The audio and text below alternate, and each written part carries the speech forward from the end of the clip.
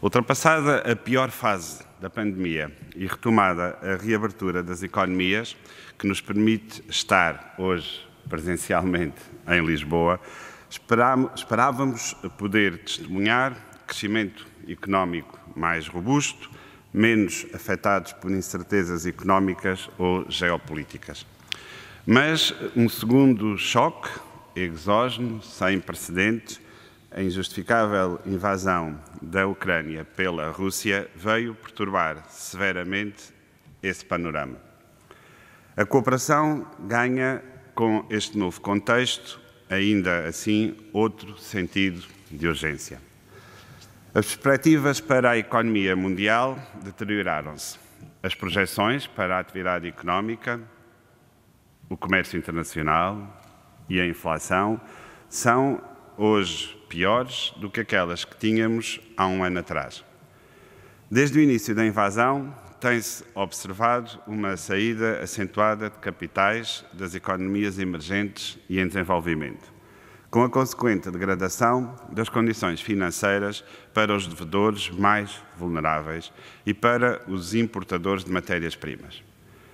As depreciações cambiais, com reforço das pressões inflacionistas, têm vindo a afetar também as dívidas externas.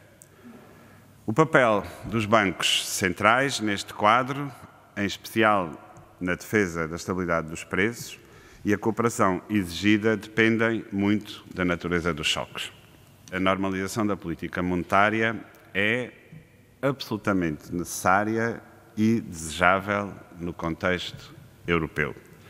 Ao mesmo tempo, as decisões de política monetária deverão ser graduais e pautar-se pela flexibilidade e pela proporcionalidade. Os custos de uma política monetária agressiva superaram os benefícios. Reações intempestivas são suscetíveis de se tornarem uma sobre-reação. Um decisor não pode, ele próprio, ser um fator de instabilidade.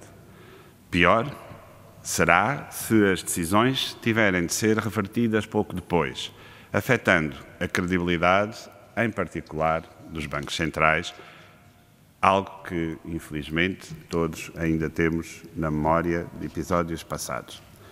Em qualquer caso, permanece crucial uma comunicação clara e atempada das decisões, bem como da informação estatística que permita aos agentes económicos tomar decisões fundamentadas.